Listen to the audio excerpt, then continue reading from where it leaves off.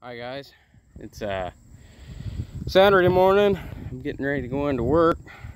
Uh, had a pretty fun night last night. Uh, a friend of mine, um, his name's Wayne. He buys and sells and uh, rebuilds saws. So he's got uh, a little bit more of a customer base built up than I have. So he gets cool saws from time to time, and uh, sometimes I get cool ones, and sometimes he gets cool ones. And every once in a while, we exchange. And uh, he ran across a cool one a couple weeks ago that I decided I needed to have. So uh, I figured I'd show it to you guys before I headed off to work this morning. Look at this beautiful old turd. A little bit of a busted top cover here. Um, it does close the gap completely up if I hold it together. So what I think I'm going to do is just cube on this on the inside. And if necessary, sand it and cube on it on the outside because it's pretty roughed up here. Uh, I did get a chain brake cover. Uh, the chain brake works, but it's, I mean, it's as soon as you put it on the saw, you take the brake off. As soon as the saw vibrates at all, it clicks the brake on. There's some pieces in here that I think are worn past their service life, and I don't know if I can actually get serviceable parts for that anymore. Um, let's talk about the saw some more. It does have a little bit of scoring on the exhaust side. It does still run, and it runs really well. Um, this is going to be one of them where uh, I am probably not going to mess with this, at least right now. I'm going to run it a little bit. Uh, very rich. Just sit down. Crap on the camera. And, uh, I'm going to run it fairly rich the way it is now. It's got a 24 on it, so that's not really going to be working this soft. Um, I'm going to either try and find NOS parts or I'm going to try and get this cylinder re-chromed is where I'm at right now. Sorry, I'm just messing with the oil cap and such. Um, this saw is worth putting some parts into. It doesn't have a whole lot of wear down here. Uh, it's got the extra mount up here like a lot of 288s got. It's missing a screw here for the handlebar, but I'm not super concerned with that. I will find one. Uh, he put this cover on here for me. It's actually in really nice shape. Uh, it's got just a little bit of a decal peeling here, but it's still there. A little bit of paint missing right here. Um, Husqvarna bar that's on it. Like I said, it's an 84 driver. He put a new loop of chain on it. It had a really, really low raker chain on it. After I verify that this runs really well, I'm actually going to put that chain back on it after I put a good edge on it because it's duller than hell. And uh, just kind of see what the guy was cutting with. Um, I don't know the guy that got this or had this. Uh, one of Wayne's friends knows him. That's the buddy that I got this from. And I'm just super excited to have it. He wanted a smaller saw, and Wayne had a smaller saw. Uh, I think he actually got a rebuilt 350. So, and then Wayne and I came upon a price, and I decided it was a good enough price to make it worth it. But like I said, it does have a little bit of carbon scoring. Uh, I'm pretty sure it's carbon scoring. The rings are intact.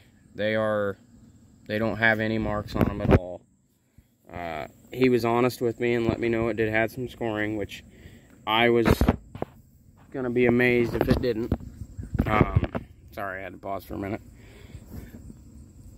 like I was saying, I, I would have been amazed if it didn't have any scoring at all, but it's still got amazing compression. I mean, it'll probably stand right up. Oh yeah, it's standing right up, a couple foot off the ground. I mean, that rope ain't hardly moved. Yeah. This thing's got really nice compression. Um, for those of you that don't know what a 298 XP is, it is pretty much, with some minor differences, the exact same saw as a 2100 or 2101 XP.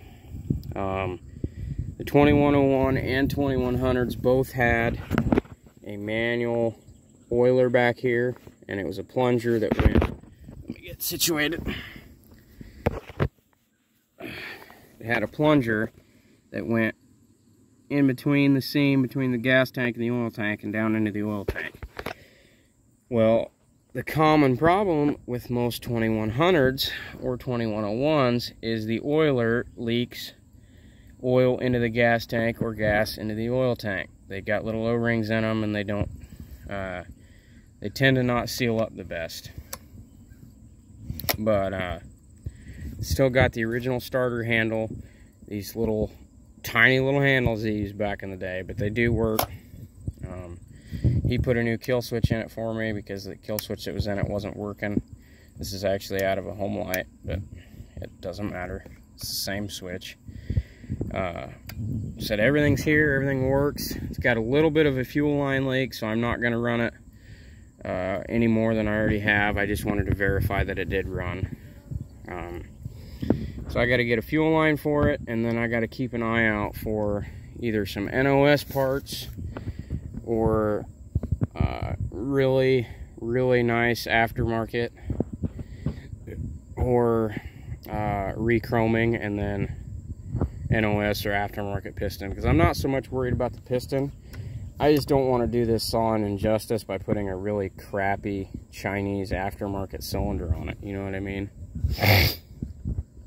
like if I'm going to put a cylinder on this, the only thing that's going to go on other than OEM is going to be a Hyway or a meteor. Uh, just because otherwise, you take basically a 100cc saw and you put a really crappy cylinder on it, and then you're upset because it doesn't have the power that it should. And well, the cylinder's probably why. But the air filter under here is actually in really good shape. I'm not going to take this screw out because uh, it has a, for whatever reason, the guy that owned it before me lost the original screw for the air filter cover. So as you can see, it's got a T27, probably a steel screw in it. But uh, the other thing I would like to get working if I can is this chain brake, just because you don't see a lot of these chain brakes anymore. Uh, and usually if you do, at least on the, the smaller 200 series, usually they're busted out right here. Uh, not so much on these bigger ones for whatever reason. Like the, the 181 uh, and the 2100s and the 2101s all use the same cover. And I think the two early 288s did also that had a metal chain brake. Uh, what I mean by a metal chain brake is this handle is actually like an aluminum hollow tube instead of just a plastic flag. Uh, well, give me just a second. I'll show you the differences between the handles. My garage is a mess, so don't make fun of me.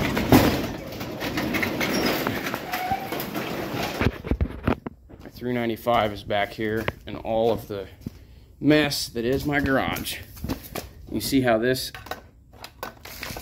has a single flag also. It's not attached down here like a 372. It's not attached, see? There's just the one side on the chain side cover. Because uh, they have the chain brake in this clutch cover. Very similar. But this is more of a clutch setup in here. It's got a lot of moving parts where the newer ones are just a spring and a, a small lever. Um, this is the metal handle. I call it metal handle.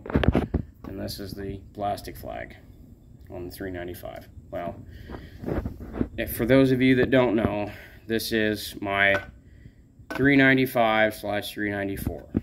Everything on the internals of the saw is 394 except the cylinder. I got it blown up. Uh, for those of you that know, you can't get 394 cylinders anymore. So instead of just letting a saw sit, I put a 395 OEM on it and it runs really, really well. I'm not upset with going to a 395 top end. I also had to get a new OEM recoil because mine exploded and I've put a little bit nicer top covers on this saw. Eventually this saw is going to get uh, new top covers, probably a new tank and a new handle and a new clutch cover because I want to make this saw look a little nicer than it is. And probably a new muffler or a pipe, I'm not sure which yet. Uh, but this saw is coming apart this winter. Uh, my bar studs are question they're they're not failing but they're they're kind of messed up my bar nuts are a little hard to get on and off and uh, when I put this saw together the first time I didn't put bearings and seals in it I'm gonna go ahead and put bearings and seals in it this time because I do not want this saw blowing up I do not have enough uh, money invested in this saw to the point where it's like okay do I really want to put any more money in it like I don't have shit for money in this saw. The money I have put in this saw has more than paid for itself back with the money it has made me. So as far as I'm concerned, I have zero dollars in this saw. And that's why I'm just going to go ahead and pull it down and split it and we're going to put bearings and seals in it. Pause you guys till I get back outside. Okay, we're almost back outside. Like I said, I figured I would show off 298 this morning.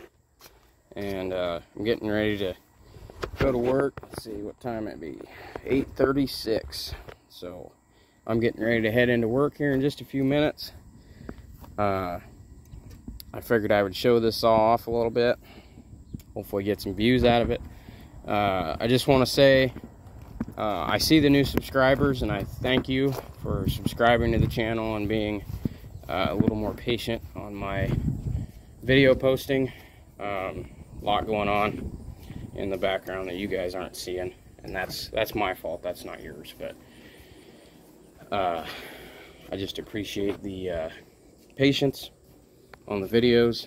I got to order another tripod. I got to talk to some people and make sure they're okay with me taking videos uh, and their property. Because my my cutting area I was cutting at for the past you know 20 some years or basically as long as I've been running saw anyway uh, it's not that they don't want me back it's that some circumstances happened and I don't I'm not going to be going back for a while. So uh, I got a different cutting area and I got a a tree service dump yard I can cut at. That's probably where I'll run that 298 next. Uh, I'm gonna probably make sure it runs really solid and then uh, I'm gonna start looking into getting some parts.